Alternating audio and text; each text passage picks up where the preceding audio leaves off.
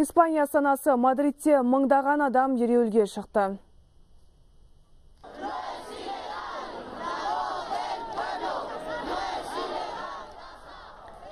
Халық таяуда үкіметтің қабылдаған жаңа заң жобасына наразы. Бұдан бұлай халыққа ереуіл ұйымдастыру үшін биліктен рұқсат алу қиынға соғатынға ұқсайды.